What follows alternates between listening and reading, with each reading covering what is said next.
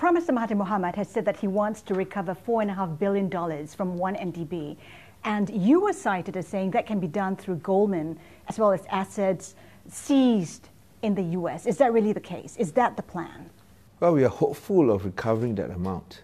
But, uh, you know, I, I, will probably take a very uh, conservative estimate. Probably we only get back around 10%. Although uh, perhaps uh, maybe if you are lucky, you can go up to 30%. But at the, uh, at the very least, 10% of, uh, of what they have stolen. Uh, bearing in mind that we are paying 50 billion ringgit, that works up to around probably 11, uh, no, around 12 billion US dollars, 12 to 13 billion US dollars. So if we can get 30%, that will work out to around 3.5 billion, as you have mentioned. But uh, at the very least 10%, uh, and uh, as I said, that's still not sufficient because, you know, what happened to the remaining 70 or 80 or 90 percent. That's why I think justice must be done. We want to ensure that those who were part of this deal and this arrangement, they can cough out, they should cough out any monies that they've received uh, and return it back to the people because they were unwitting victims uh, in this, uh, what do you call that, this global scandal, the largest scam in history. But why only 10%? What are the indications? What are you hearing? Because we couldn't locate, we couldn't trace where the money went and what did they purchase, what did they buy, what were their assets. We just cannot trace them. And those that we can trace, there's also questions of, uh, you know, of uh, ownership, uh, due process, as well as uh, different national jurisdictions. And that, there's also a question of cost after deducting for all the expenses incurred, how much is left? And that's why I'm looking at around 10 to 30 percent. Might you want to claw back from other players like JP Morgan, which was involved in the dollar transactions? You're talking about Goldman Sachs, you mean? Goldman Sachs, yes, but JP Morgan handled the dollar transactions. Might you want to claw back money from them? No, I, I think that we have to assess la, in terms of uh, that fiduciary duty do they have that fiduciary duty? Uh, Goldman Sachs is very clear. Uh, JP Morgan is something that we need to look at. I think there needs to be some clarity there first. So I do not want to make any prejudgment. Uh, we'll leave it to the uh, Attorney General and also the uh, legal investigative panel, the special legal investigative panel established to uh, to deal and to, of course, uh, uh, get to the bottom of the GST. So, uh, sorry, the, to get to the bottom of the 1MDB scandal. So fair to say that right now we are not exploring other banks and their involvement in 1MDB?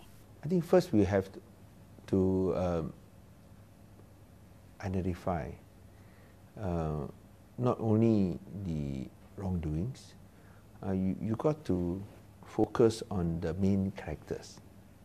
And then later, you see where are the uh, accessories, so to say.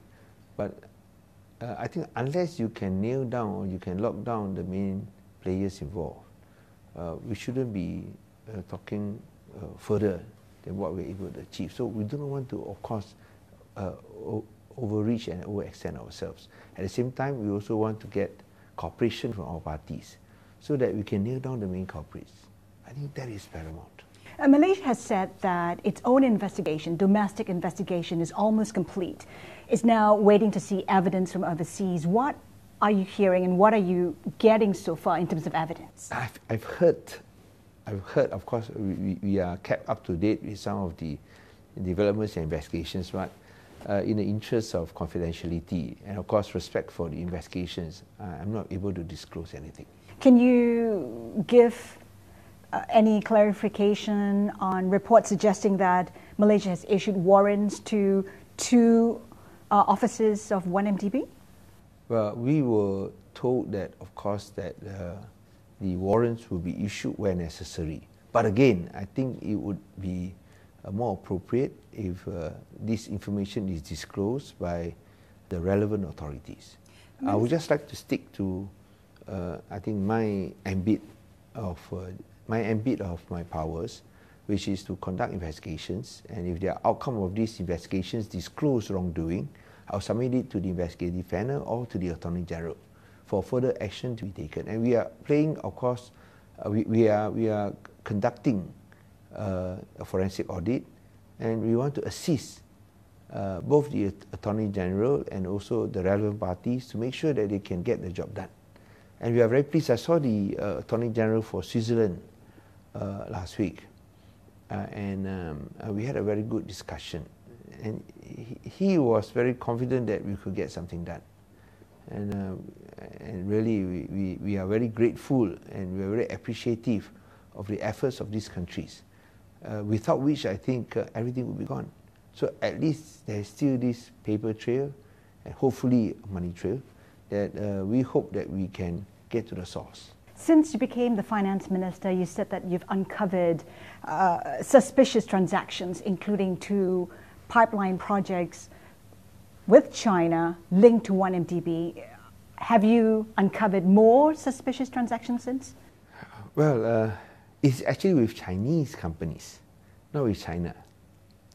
Now, we have problems with Goldman Sachs, as I've mentioned, because the advice that they've given, and despite that, we pay actually 100 to 120 basis points higher than the market. So we are wondering, why are we paying 600, nearly 600 million US dollars for such advice? Uh, well, our problem is not with the United States of America. It is with the company. So I think we should distinguish or differentiate the company and the country. We have no problems with the US. Of course, our issue is with the company. Similarly, when you talk about the gas pipelines, it is with the Chinese company. It is not with the country. So uh, in that respect, uh, we have uh, we are shocked actually that uh, payments have been made, even though no work has been done on the ground. Uh, and uh, what is alarming is that nearly or more than 88% of the project value has been paid. More than 88% of the project value has been paid, even though little work has been done on the ground. So why is there such a favorable, favorable treatment that is not even given to Malaysian contractors? Never in Malaysian history has payment been made even though work has not been done.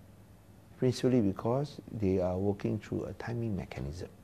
That means, that would mean simply this, that as long as uh, what do you call it? Uh, no, oh, uh, that you have to make payment over a fixed period, regardless whether work is done or not. So every three months, periodically, you have to make payments. That doesn't make sense. So is there a resolution to what you're seeing right now? Are you in talks with the Chinese companies? We have actually uh, issued instructions that work must be suspended and uh, until then, I think this is to allow um, uh, a, a, period for us to assess and also to discuss the future of these projects. And of course, these talks are still ongoing. But what's the sense then? What are the viable solutions? Could it be a cancellation of the projects? Could it be maybe lower rates? Well, all options are on the table. Any preferred option? well, I think it would be prejudicial of, me for me to state what are my preferred options. But we need to discuss this with the, the other parties. And bear in mind that it also involves uh, companies from another country. Uh, but uh, all options are, the, are, on the table. I, I, will not, I will definitely not discount the possibility of cancellation, like you have mentioned. But uh, as I said, uh, anything is possible and uh, uh, we are still uh, deliberating on the various options available. Prime Minister Mahathir Mohamad is due to visit China in August. Will these projects be discussed? Is that the intention? I would think that the uh, visit, official visit, will be talking about national matters. Such matters as? of uh, importance to improve the relationship between both countries, especially our trading links. You know, China is our largest trading partner. They are a very important player uh, in our economy. Uh, I think what we want to uh, impress upon the uh, Chinese is that uh, we want to be a valuable partner, but based on mutuality of interest. Has two separate and independent sovereign states. So I think this mutuality of interest must be based on, on common principles. Uh, freedom, justice, rule of law, common respect, and of course um, a win-win formula for everyone. Uh, and I'm sure that we also want to impress upon the Chinese that uh, any deals that has entered into, uh, I mean in general terms, without going through specifics, uh, must benefit both sides and must be also be fair to both sides. Uh, I think this, uh, this mutuality of interest and also its corollary, the benefits, um, is something that we want to, to stress, that this will be different from the previous regime where somehow the interest of the country is not taken into account. Uh, and some of these uh, contracts that were entered into were at the expense of the people of Malaysia. But this will not be the principal issues that we discuss, if at all. I mean, we'll be talking about general principles rather than going into specifics. I think the Prime Minister wants to focus uh, by looking forward what uh, both countries uh, can benefit by strengthening our relationship. And you know, we've got a very strong uh, existing and existing strong ties between both countries. Uh, uh, you know, China became our largest trading partner uh, recently, and uh, they, they will continue to play an important role. But at the same time, as I mentioned, as a sovereign state, I think we want to ensure that we remain in, independent that uh, any uh, relationship must be conducted through this mutuality of interest that I mentioned, and of course has a, uh, has a, a, a, state that is able to determine and to decide on our future. Now, China has also shown interest, wants to collaborate with Malaysia on huge infrastructure projects, for instance. Uh, can you cite what's been discussed and what kind of projects can be, can be expected? Uh, I think we, we, take these comments by China very positively it shows that they also want to move forward and that they, they value uh, Malaysia as a trading partner and also has an ally in uh, uh, ensuring that uh, the ASEAN region can be a zone of peace, freedom, and neutrality. When we talk about projects, we also have to talk about the high speed rail project with Singapore. The Prime Minister has said that it's probably it will probably be deferred. Uh, your take on that, and what would it take for the project to take off ground? Well, if the Prime Minister says that it should be deferred, then it will be deferred. So I, I think that the, uh, the Prime Minister uh, has the final say. Uh, but uh, the Minister Azmin will be going to Singapore to finalize the deliberations. So I would not like to preempt him. I wouldn't wish to preempt him. So I think let's wait for the outcome of his visit to Singapore. Singapore has suggested that some kind of compensation will be needed. Has anything been discussed? I think that is in the agreement. I'm sure this will be discussed in the event that the project is terminated. Um, of course, uh, the quantum involved is would be disputed, um, but let's wait for the outcome of the visit or the outcome of the meeting. So, as I said, I do not want to preempt uh, my colleague when he visits or when he discusses this with his Singapore counterpart. Let's talk about growth. Given the cancellation of projects, austerity measures, the 1MDB scandal, and the extent of it, is it still realistic to expect Malaysia to grow between 5.5 to 6%? Or would you have to relook at those numbers? When you talk about cancelling projects, when you talk about uh, removing GST, bear in mind that we are also pumping in money indirectly into the local economy. For instance, we expect to receive uh, 23 billion ringgit less from the removal of GST. But that would mean that we'll be injecting 23 billion ringgit back to the local economy. Because when people pay less taxes, they got more money on their hands. And that works out to 23 billion ringgit a year. So I would think that this would definitely help to grow the economy. Uh, the, the money would remain in the local markets and it will not be taken out of the country. The money will not be used to purchase uh, handbags or jewelry or what have you. you know. It will remain in the country. So I would think that uh, whilst uh, these projects are cancelled, uh, again, when these projects are priced exorbitantly, it doesn't help the country's economy. Instead, by uh, putting the country on the uh, heavy debt load, I think you are probably jeopardizing the health of the economy. Let's become debt. How do you intend to cut debt? Well, I think we have to, of course, ensure that uh, number one that we will not default, and I think that we have done. Uh, that that we have uh, not only given that assurance, but we have delivered by making all our debt obligations, by paying up all our debt obligations. Uh, that's number one. Number two, of course, we have to ensure that we can again retire some of the debt uh, there will be a need for some refinancing because some of the debt was really priced at a very uh, unfavorable rates. As I said, uh, 100 and 120 basis points above market rates. That alone would allow us to, uh, to save a substantial amount in interest payments. So I believe that we will be able to uh, manage our debt and as our economy grows. Uh, I think this will of course reduce proportionally, but not just in relative terms, but also in absolute terms. Uh, we will have to, uh, of course, uh, ensure that we are able to meet our obligations, and so far we're able to do so, and that will naturally reduce the debt.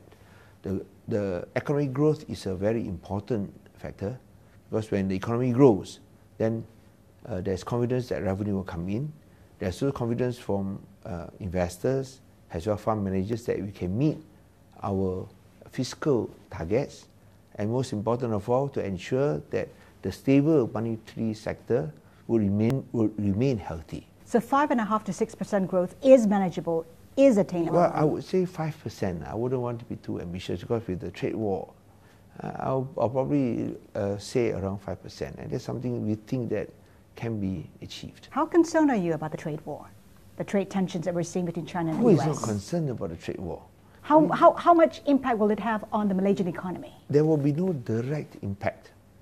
But if the global economy slows, as a trading nation, definitely Malaysia will be negatively impacted. So at the moment, we do not see that happening yet. But we are keeping a close eye. Uh, the, the trade war is actually principally between United States and not just China, but other countries throughout the world. And, yet, and as long as he has not slowed down the economy, we are doing okay. But if the economic, global economic growth is affected, then definitely Malaysia will be affected. By, to what extent? Is it half, half a percent perhaps sh- shaven off from your uh, growth? Well, it uh, depends on how much the global economy slows. But let's say that if things can be kept on even keel, uh, there are also opportunities for us. Not only has a transshipment point, but also has a neutral com- country in this dispute, which allows both China and American companies to invest and also export their products.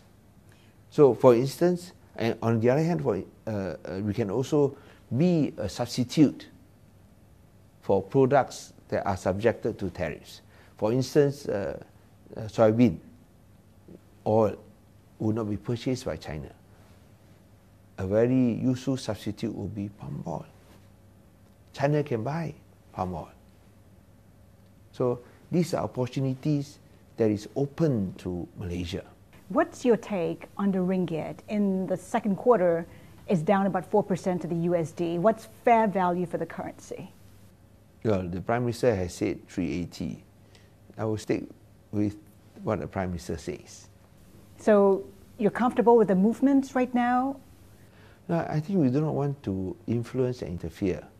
We, we prefer to let the market decide, even though sometimes we think the market is probably uh, undervalued the strength of the ringgit. But uh, we want to let the market decide. You, you know that once the central bank uh, intervenes aggressively, you cannot beat the market. So they have to sort it out themselves. Uh, if there's any disparity, uh, in, especially in the cross rates, I think arbitrage, arbitrage will work and takes the necessary effect. But uh, I would say that uh, has uh, the foreign investors realizes our commitment to make structural changes, structural reforms, uh, to heal our nation's finances, and also to continue to adopt a transparent, accountable, and competent approach towards economic management. I'm sure that they will come back um, strongly to invest in Malaysia. Uh, bear in mind that our economic fundamentals are strong. Uh, we, our banks are well capitalized. We have very low non-performing loans ratios. Uh, the uh, capital markets has high liquidity, and um, generally the monetary sector is stable. So uh, we do not see why, when our fiscal position improves, why the ringgit will not strengthen or why investment would not, or the capital flows will not uh, return in force. Uh, and so far, that the fact that many investors are having a second look or relooking at Malaysia has an investment uh, destination. I think that shows that they are interested in our emphasis on transparency, and the need to tell the truth in terms of financial numbers. Minister, Malaysia is looking to balance its budget realistically. When can that happen? I think that will take a bit of time. Uh, bearing in mind that we are. What is a bit of time? We are not focused on balancing the budget as, as much as trying to ensure that we keep to our targets. Because bear in mind that we want to reduce our debt the mountain of debt left to us by the previous government, a 1 trillion ringgit debt. So I think that would remain our focus. And once you reduce that, both in absolute and relative terms, in proportion to the GDP, sometimes it is not the debt that haunts you, it's your ability to repay that is the most important element. And I think the investors and the fund managers know that. So a balanced budget maybe in about three years? I, as I said, that would not be our primary objective. Uh, as I say again, uh, reducing our debt, uh, demonstrating our ability to pay, and also competent, accountable, and transparent management of the economy, coupled with structural reforms, uh, which will ensure our long-term growth, stability, and health in long term. I think that will be paramount. Minister, just one final question. A lot of people have said that this is the new Prime Minister, Mahathir 2.0. How has it been working with him? And how much control do you have over your own finance ministry policies? Well, finally, it's the Prime Minister who decides. I think you have to accept that uh, we have a Westminster form of government where even though he's a member of cabinet, he's the first amongst equals pares inter pares. He's the first amongst equals. And, uh, uh, and he picks the cabinet. So you have to acknowledge his leadership. And unless, of course, you want to be an outlier, uh, then you'll be out of cabinet. But I think ideologically, as well as in, uh, in, in terms of principles, we share the same ideas. And I do not think there's been any disconnect or there's been any uh, misalignment of principles as well as uh, our uh, interest, interest in wanting to see a healthy financial situation, fiscal situation for the government, alignment in terms of wanting to reduce our debt, and alignment in terms of wanting to move the country forward and to free Malaysia from this image, this shameful image of being a global kleptocracy. We want to free Malaysia from corruption. We want to tell the world that Malaysia is no longer a global kleptocracy, that we are a government with dignity and honor, and we want to run a clean government, a competent government that will benefit our people first and foremost. At the same time, we want to be a responsible member of the international community that respects rule of law. A rules-based system will be our guiding post. Thank you very much, Minister. Thank you. Pleasure. Thank you, sir. Thank you.